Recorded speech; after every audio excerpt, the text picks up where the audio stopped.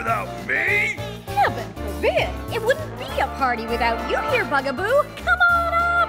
Let's party! Ah!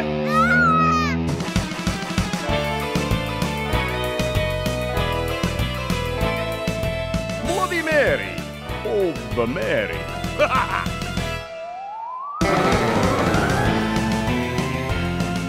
I thought monsters ate little girls.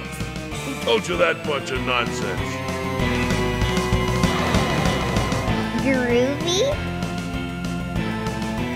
My cousin Jimmy told me. He said that the monsters will come and eat every one of us. Snacks! I think it's time we taught those big kids a lesson.